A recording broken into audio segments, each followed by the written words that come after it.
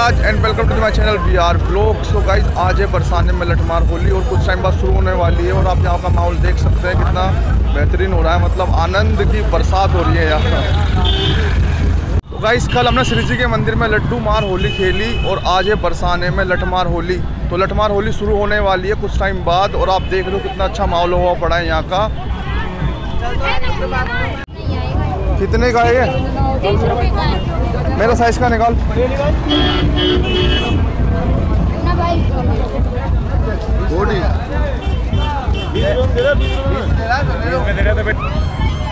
मेरे साइज़ का तो है नहीं।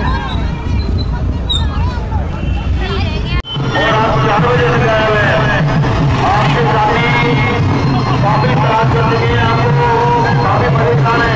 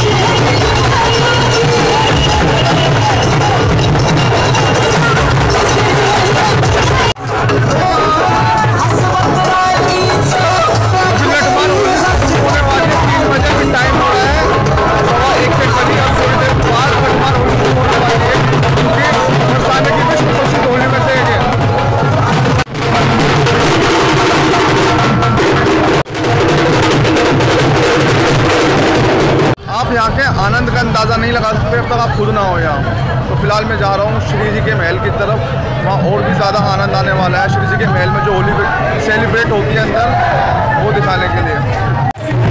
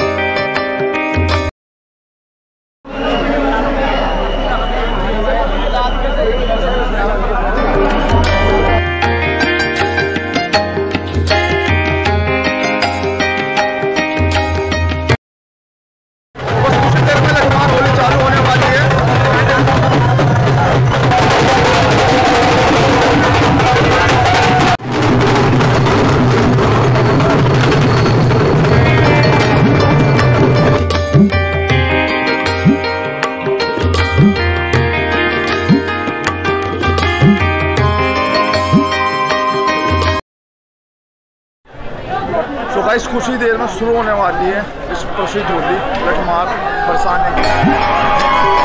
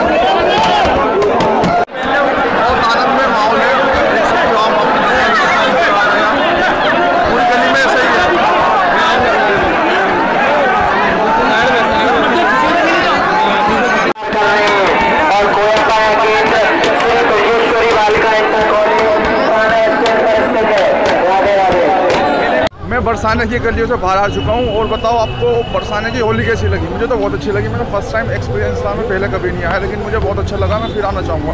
फ़िलहाल जल्दी जा रहा हूँ।